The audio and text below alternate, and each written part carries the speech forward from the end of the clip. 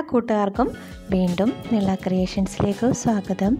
ഇന്ന് ഞാൻ വന്നിരിക്കുന്നത് ഒരു ലഡുവിന്റെ റെസിപ്പിയുമായിട്ടാണ് ഒരു റവ ലഡു. ഇനി നമുക്ക് വീടിലേക്ക് പോകാം. അതിനായിട്ട് ഞാനിവിടെ ഒരു ചീനിച്ചെടി അടുപ്പത്ത് വെച്ച് കൊടുത്ത് കുറച്ച് നെയ്യ് ചേർത്ത് കൊടുക്കുകയാണ്. അളവൊന്നുമില്ല കുറച്ച് നെയ്യ്.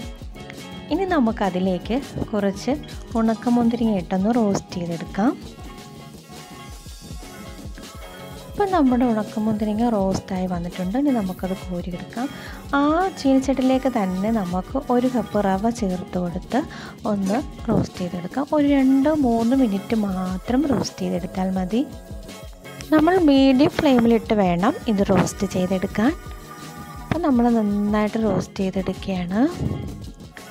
ഇനി നമുക്കതിലേക്ക് ഒരു കാൽ കപ്പ് തേങ്ങ ചിരകിയതൂടെ ചേർത്ത് കൊടുക്കാം. ഞാനിത് മിക്സിയുടെ ജാറിലിട്ടൊന്ന് ഒതുക്കിയെടുത്തതാണ്. ഇനി നമുക്കിതിലേക്ക് ചേർക്കാനുള്ളത് ഒരു രണ്ട് ഏലക്ക പൊടിച്ചതുകൂടി നമുക്കിതിലേക്ക് ചേർത്ത് കൊടുക്കാം. പിന്നെ നമുക്ക് ചേർക്കാനുള്ള ഒരു നുള്ളുപ്പ് അത് മധുരം ബാലൻസ് ചെയ്യുന്നതിന് വേണ്ടിയിട്ടാണ്. ഇനി നമുക്കിതിലേക്ക് അര കപ്പ് പഞ്ചസാര പൊടിച്ചതുകൂടി ചേർത്ത് കൊടുത്ത് നന്നായിട്ടൊന്ന് മിക്സ് ചെയ്ത് കൊടുക്കാം. നന്നായിട്ടൊന്ന് മിക്സ് ചെയ്തതിന് ശേഷം നമുക്ക് ഗ്യാസ് ഓഫ് ചെയ്ത് കൊടുക്കാം. ഇനി നമ്മളൊരു പാത്രം എടുത്തതിന് ശേഷം അതിലേക്കൊരു മുക്കാൽ കപ്പ് പാലൊഴിച്ച് കൊടുത്ത് നന്നായിട്ടൊന്ന് തിളപ്പിച്ചെടുക്കണം. അതിലേക്ക് ഞാനൊരു ഒരു കുറച്ച് മഞ്ഞൾപ്പൊടി ചേർത്ത് കൊടുത്ത് തിളപ്പിക്കുകയാണ്. കാരണം നമ്മുടെ ലഡുവിനൊരു നന്നായിട്ടുള്ള കളർ കിട്ടാൻ വേണ്ടിയിട്ടാണ്.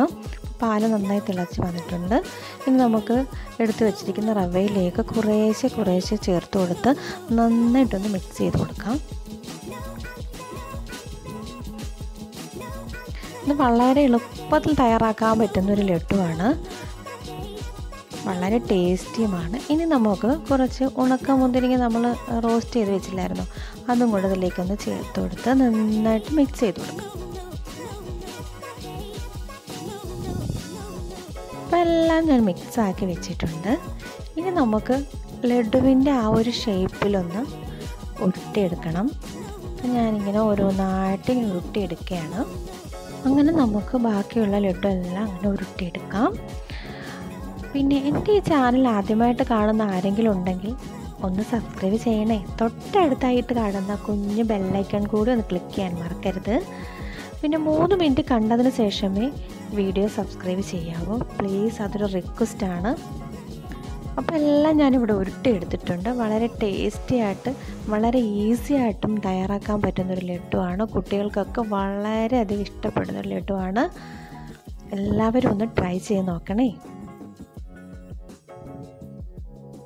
ഇതുവരെ സപ്പോർട്ട് ചെയ്ത എല്ലാവർക്കും ഒരുപാട് നന്ദി. Thank you for watching